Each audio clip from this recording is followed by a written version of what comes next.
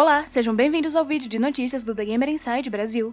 Essa semana vamos falar sobre o lançamento de Override 2, Paprium que saiu para Mega Drive, revista Make the Game do condado Braveheart e mais. Todos os links informativos estão na descrição do vídeo. Não esqueçam de deixar um like e de se inscrever no canal para acompanhar os nossos lançamentos. Override 2 Super Mac League da Modus Studios Brasil está disponível para PC, PS4, PS5, Xbox One, Xbox Series X e Nintendo Switch. Override 2 é um jogo de ação em que os jogadores vão assumir o papel de robôs gigantes, participando de intensos combates a fim de gerar entretenimento. O título apresenta os antigos e novos mechs melhorados, onde cada um possui suas próprias habilidades, movimentos e ataques especiais para atender todo tipo de jogador. Override conta com diferentes modos de jogo, podendo ser jogados tanto solo quanto em multiplayer local e online. Cobra Kai The Karate Kid Saga Continuous da Flux Games está disponível na Steam.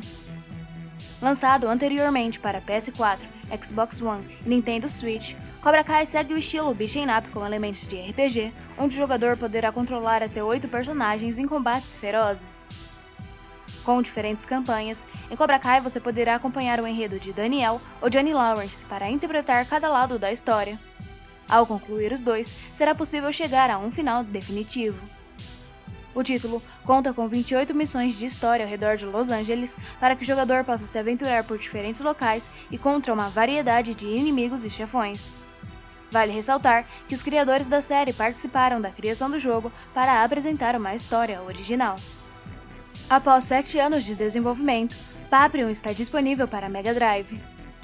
O game foi criado pela Watermelon Games, um estúdio canadense, mas que contou com os brasileiros Túlio Gonçalves e Salvador Marques no desenvolvimento do game.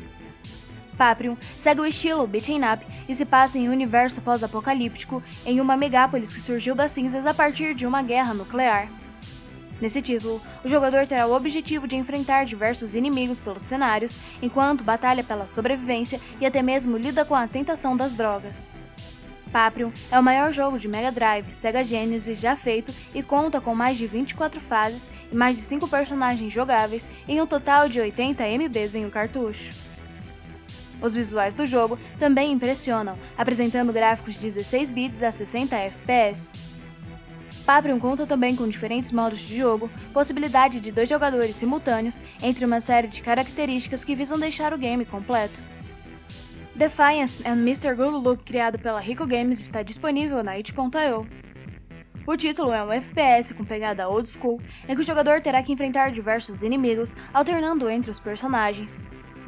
Ao longo do gameplay, será possível, e importante, trocar de personagem jogável para ter um sistema de batalha mais dinâmico alternando entre o pistoleiro e o espadachim.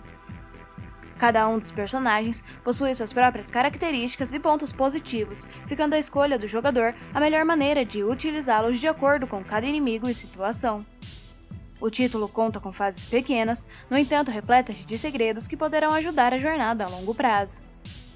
O time do condado Braveheart lançou a 26ª edição da revista virtual Make the Game, a revista tem sua publicação realizada de maneira trimestral e possui o foco no universo de desenvolvimento de jogos, com sessões dedicadas a arte, roteiro, sonoplastia, programação e game design. Nessa última edição, abordaram o tema jogos e aprendizado, tanto na visão do jogador, desenvolvedor e também de educadores. Essa edição conta com uma entrevista com a Mônica Bose, proprietária da escola de programação RapCode, para conferir não só a 26ª edição, como também as anteriores, confira o link na descrição.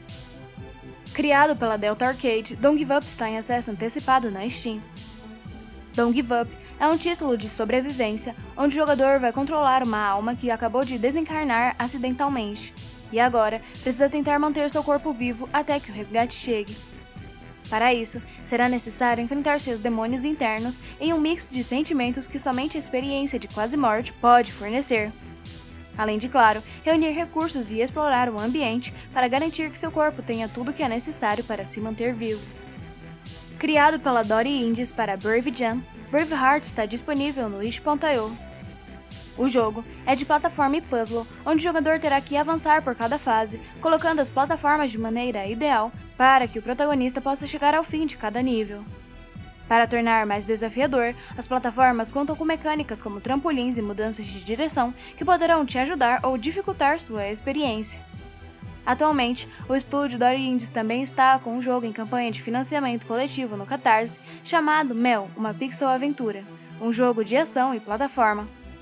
Para quem quiser saber mais sobre os projetos, o link para ambos está na descrição. E então, o que acharam das notícias e novidades? Se curtiram, não esqueçam de deixar um like, de se inscrever no canal e ativar o sininho para receber notificações dos nossos vídeos. Confiram também no comentário fixado a matéria sobre as notícias semanais no site dos nossos parceiros como Infinito. Se você é um desenvolvedor e gostaria que a gente mostrasse os seus projetos ou jogos aqui no canal, nos envie uma mensagem para o nosso e-mail que está na descrição. Nos acompanhe no Facebook, Twitter e Instagram para ficar atualizado dos nossos vídeos e notícias. Confira também a nossa aba de comunidade, onde postamos conteúdos de canais parceiros. Espero que tenham gostado e até o próximo vídeo.